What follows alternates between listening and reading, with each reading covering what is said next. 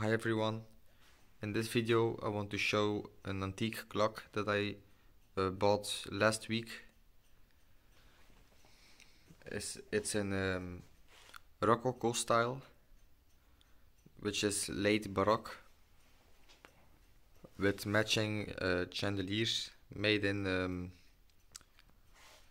in bronze with uh, gold plating. Anyway, I never bought a clock like this.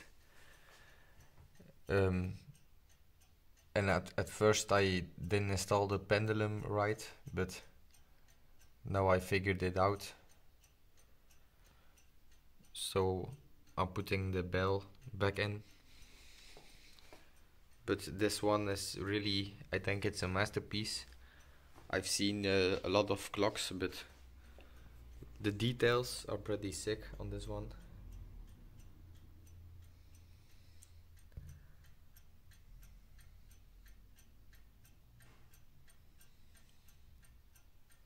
I got it from a website called uh, Catawiki. They do auctions, but usually they have uh, antiques.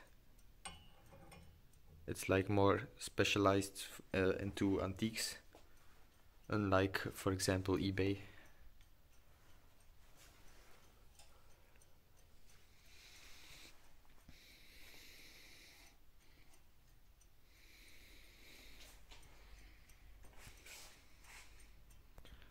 Anyway, thanks for watching. Have a good day.